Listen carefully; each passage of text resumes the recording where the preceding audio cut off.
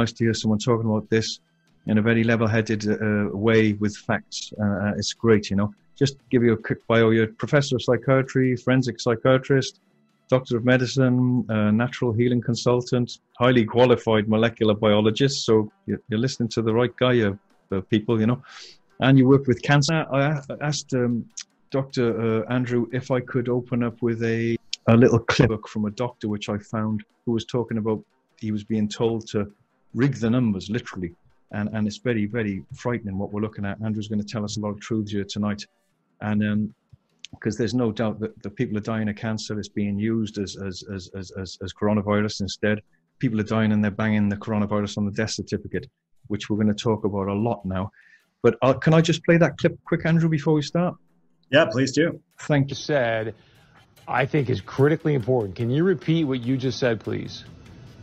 Well, last Friday, I received a seven page document that sort of told me that if I had an 86 year old patient that had pneumonia but was never tested for COVID 19. But sometime after she came down with pneumonia, we learned that she had been exposed to her son who had no symptoms, but later on was identified with COVID 19, that it would be appropriate to diagnose on the death certificate COVID 19. Someone has the pneumonia after, and, and it's in the middle of a flu epidemic, and I don't have a test on influenza. I don't diagnose influenza on the death certificate. I will say uh, this elderly patient Sir, died of pneumonia. I, I, don't mean to interrupt you, but I, I, my heart is sinking right now as you're telling me this. You're, you're a doctor. Why in the world would they be sending you out information to fill out death certificates, whether the person's been diagnosed with COVID-19 or not, but then to say in the death certificate this person's death was caused by COVID-19? That, that does not sound right to me.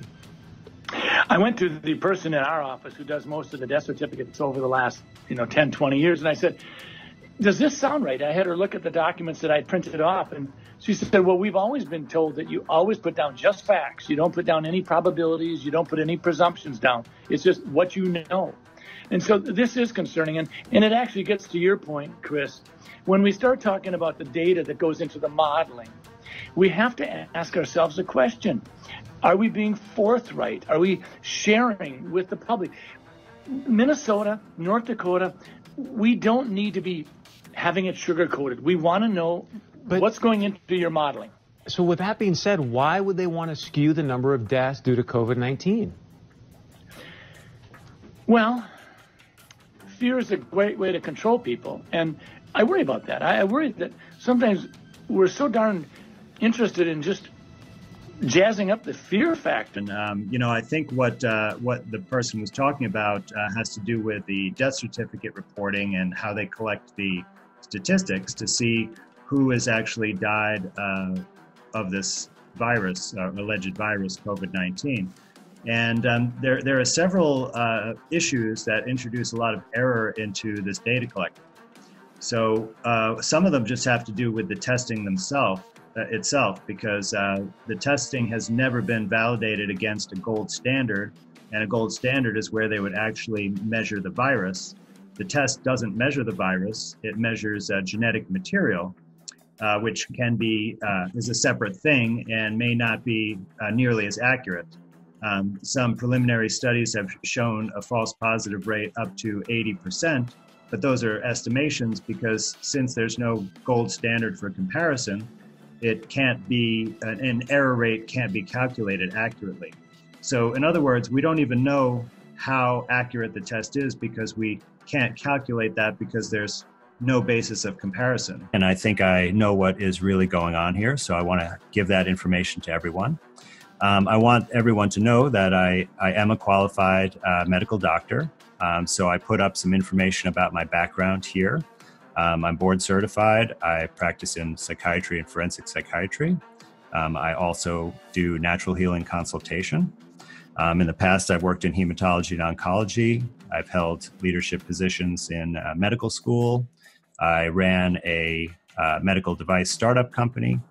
Um, and you can see where I had my education. So I feel that I am uh, qualified to talk about this subject matter, and I hope you'll agree. So, if uh, what we had is a situation where just about 200 people at first uh, became ill with a mysterious um, pneumonia type illness at this seafood market, and many of the people were uh, actually employed or made their livelihood at the market.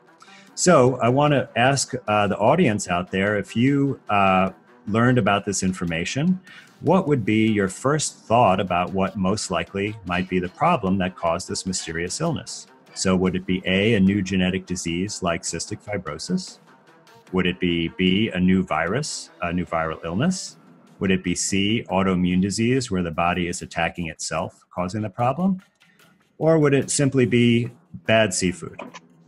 And I think most of you would agree that the first thought you would have, given the commonality of the market and the sanitary conditions there, is that bad seafood would be an issue and something certainly to look into.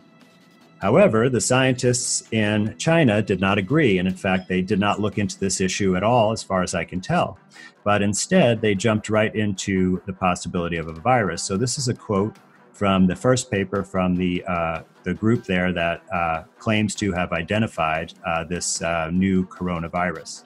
And what they said is the disease was determined as viral induced pneumonia by clinicians according to clinical symptoms, um, including basically a fever, low white blood cell count. Uh, pulmonary, pulmonary infiltrates just means uh, fluid and congestion in the lungs on a chest x ray. And the people did not get better after three days of antibiotics. So they, they did think of, of a bacterial infection first and then went right to the virus. And they note that most of the early cases had contact with the seafood market. So it sounds like they, they were primed to blame a virus on this, on this uh, illness right away. So, how did they actually um, uh, claim to have proved that a virus call, caused this illness? So, what they did is they they took seven, only seven out of the out of the almost 200 initial patients who were sick, and they uh, stuck uh, basically a fiber optic camera, like a long tube, down their windpipe into their lungs, and then they squirted a bunch of fluid in there um, and mixed it around, and it, it, collected whatever debris or cells or uh, chemicals were, were in the lungs, and then they sucked it back up. And they did take some other body fluids. They did take blood. They took oral swabs and nasal swabs, but but is the lung fluid where they really uh, found what they or think they found what they were looking for. So when they took this lung fluid out, they did not first try to find a virus in there and separate it out and purify it. But the first thing they did was find and separate some kind of genetic material. Quite an interesting strategy. And what they found was some RNA. So when they found this genetic material from the lung fluid, they then uh, determined the sequence of it, which is basically the code of the genetic material. And then they rushed to rapidly develop a diagnostic test, which is a, a, qualitative PCR, and I'll discuss that a little bit more in a moment. So, in other words, before they really proved anything, they already developed a test. Okay. So, why didn't they purify the virus and how do they know what the source is of that genetic material? So, it turns out that I um, was looking in a, a related area and I found this study from last summer. And this study was trying to also develop a, a diagnostic test, but for lung cancer. And essentially, they used the same exact procedure. So they got the lung fluid in the same way with that bronchoalveolar lavage, and they collected that fluid. And out of that fluid, they isolated genetic material and they sequenced that and uh, tried to, they called it a possible biomarker, and this could be a test for lung cancer. So I thought it was uh, it was quite interesting and coincidental that the same exact procedure was developing a diagnostic test for lung cancer as was developing a diagnostic test for this pandemic pneumonia. So let's look uh, a little bit more in detail at this test. So this is a uh, that RT-PCR stands for it's a mouthful, but it's reverse transcription polymerase chain reaction.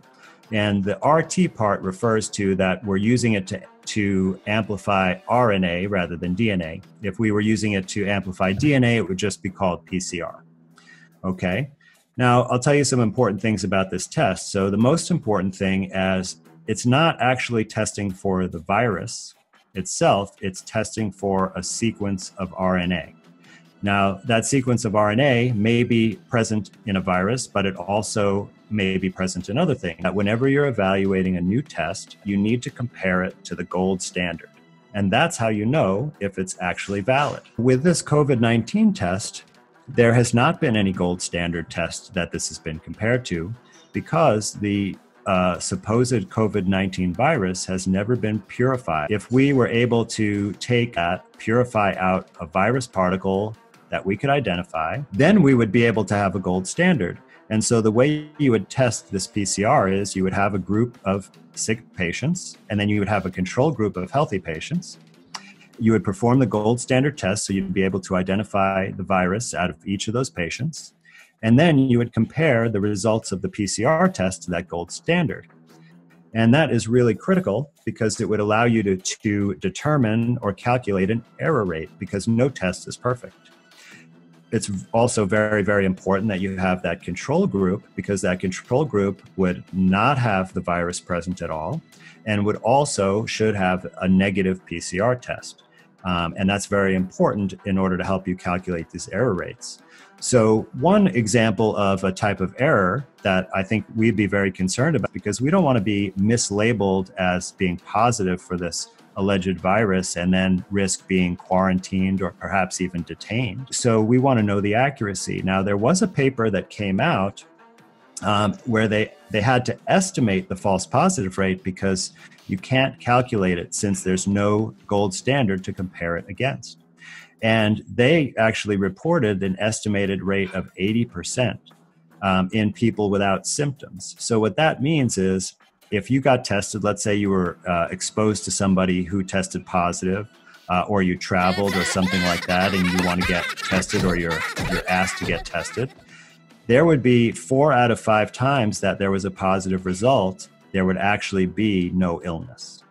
So this could be a real, real big problem. It certainly could vastly overestimate the number of cases, and also could have a lot of consequences uh, for you based on this quarantine situation.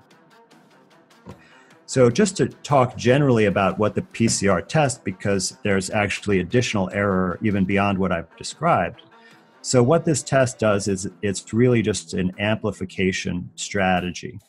And the reason this is necessary is because we're, we're kind of looking for a needle in the haystack, replicates the strand of RNA uh, and it makes uh, a copy. And this is an exponential or a binomial expansion. And if you look at the uh, black uh, curve on the graph here, you'll see that's what that represents.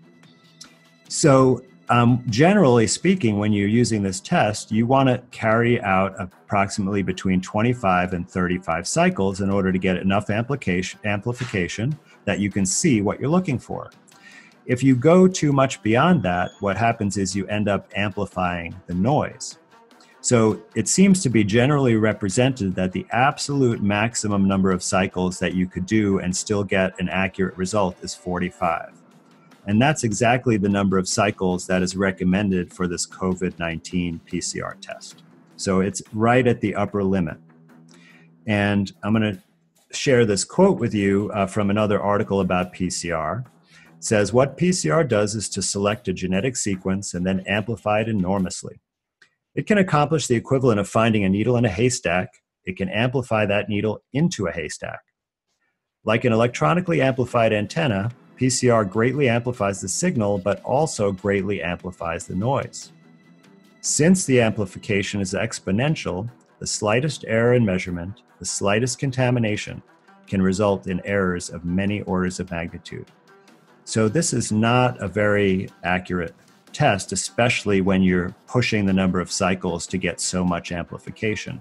Uh, just a slight mistake can result in false positives. And I think that's that's what we've been seeing.